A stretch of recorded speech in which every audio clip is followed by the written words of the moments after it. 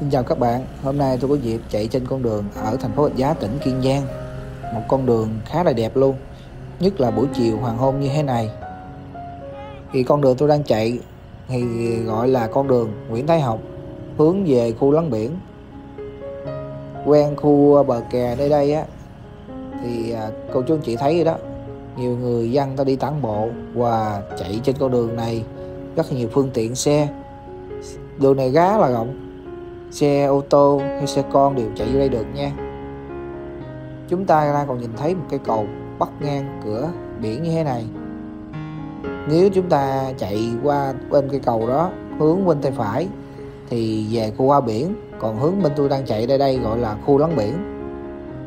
Quen khu vực bờ kè này thì có khá là nhiều cây cục đèn điện rất là đẹp và nhiều ánh đèn đủ màu sắc rực rỡ khi về đêm tại nơi đây rất là đẹp luôn không chỉ vậy á, nhiều người dân, người ta đến đây để à, hóng gió biển, ngắm cảnh biển và ăn uống. Có nhiều quán xá và những người bán hàng rong quen trên con đường này, buôn bán tại đây. Tha hồ mà chúng ta có thể lựa chọn những thức ăn, thức uống phù hợp với mình và được ngắm cảnh biển nữa chứ. Gió nơi đây cũng rất là mát mẻ. Đặc biệt như trong tháng này thì gió bắc đang ở ngoài biển đổ vào rất là mát và xe lạnh chạy tới đây á, chúng ta thấy bên tay phải nè công viên bờ kè đi bộ á, khá rộng lớn luôn. Không chỉ vậy đó nhìn bên tay trái nè có nhiều cửa hàng kinh doanh ăn uống. Người ta mở xen sát nhau tại đây. Du khách và người dân ở địa phương này á, thường dừng chân tại đây uống cà phê ngắm cảnh. Góc này rất là đẹp luôn có view bờ kè như thế này á, còn gì bằng nữa. Và rồi chúng ta tiếp tục đi ờ, trên con đường này thì ờ, con đường này có tên gọi là con đường Tôn Đức Thắng, một con đường khá là dài, nằm cặp sát ven bờ biển, khu lấn biển ở thành phố Rạch Giá. Thì ờ, như các bạn thấy nè, bên góc tay phải của tôi á, thì đây là công viên đi bộ, nằm ven biển luôn, kéo dài lên trên con đường này. Có khá là nhiều người đến đây để vui chơi, và giải trí tản bộ nơi này thì à, tầm khoảng à, 16 giờ chiều á, thì có rất là nhiều người dân đến đây để vui chơi nha. Còn góc tay trái này nè là cái à, nhiều cửa hàng kinh doanh ăn uống. Đó các bạn có thể ghé vào đây để thưởng thức và ngắm cảnh biển ở ngoài này luôn nha. Hiện tại à, tôi đang chạy trên con đường này hướng ra khỏi trung tâm thành phố Gạch Giá. Chạy hướng về ở khu đô thị Phú Cường Kiên Giang. Ở nơi đó khu đô thị Phú Cường á, là một khu lấn biển đẹp và có nhiều khu đô thị nhà ở mới phát triển. Thì à, tôi sẽ quay hết cái đoạn đường Phú Cường Kiên Giang cho cô chú à, và các bạn xem nha. Không chỉ vậy các bạn có thể à, vào kênh của tôi xem lại những cái video tôi quay về ở khu đô thị Phú Cường Kiên Giang. Những cái năm trước vừa rồi tôi cũng quay khá là nhiều á. Còn à, năm nay thì tôi cũng quay hạn chế lại rồi. Có dịp thì tôi sẽ quay trong gần dịp gần Tết này cho các bạn xem ở khu lấn biển của Cường giờ đẹp như thế nào?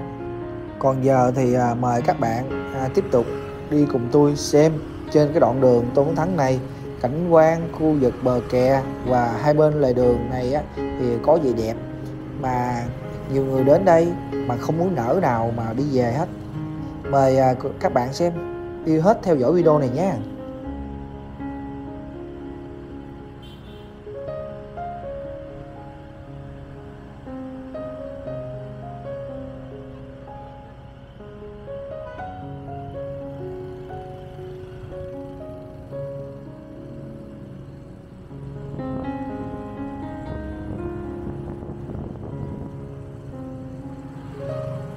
tới cái đoạn đường này, nhìn phía bên trái, đây là những cái nhà hàng, khách sạn và những cái nơi ẩm thực ăn uống khá là nhiều quen trên con đường này. Nói chung các bạn có thể đến đây và một ngày dịp nào đó thì sẽ nhìn trên con đường này cũng không biết lựa quán nào để mà ăn uống luôn đó.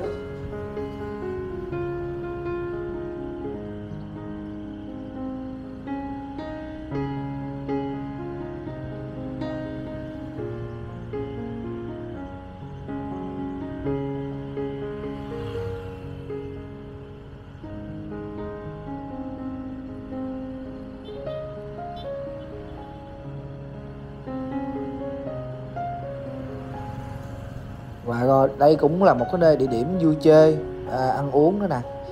Góc bên trái á, các bạn nhìn thấy đây là một quán cà phê ba lê. Rộng lớn nhất ở thành phố Rạch Giá này.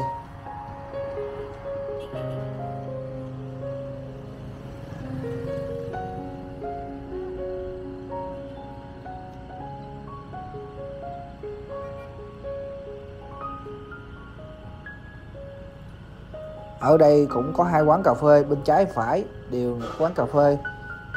Đây cũng rộng lớn lắm. Quán cà phê Bolivar, một cà phê khá là rộng lớn và điện ánh đèn đẹp về đêm ở đây rất là cỡ luôn.